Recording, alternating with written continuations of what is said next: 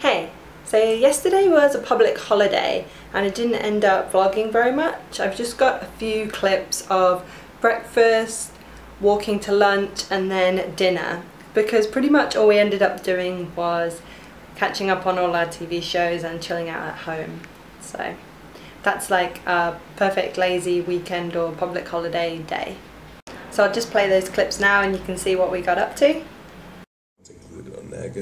Remember that? Mongolia. These, but I can't read it. It's a really difficult language. They got nine tones, so nine different ways of saying every single word.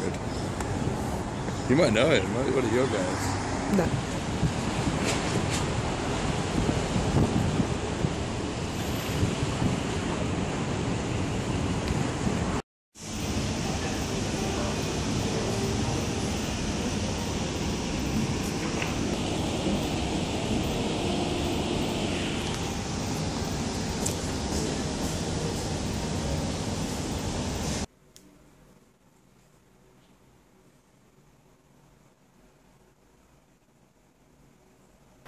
And the night before we went to see The Martian, which was really good, really good drama and like some funny bits too. So highly recommend seeing that if you can.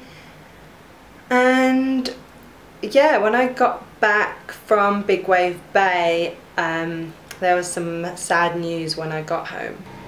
The clock fell down and smashed. So the hook came completely off the wall it wasn't strong enough to hold the clock. I didn't really think about the fact the clock was metal and glass and is really heavy. So I'm just going to put it back up, take out the remaining glass, put it back up with a stronger hook and see how we go. So that's all the news from today and I'll see you in the next one. Bye.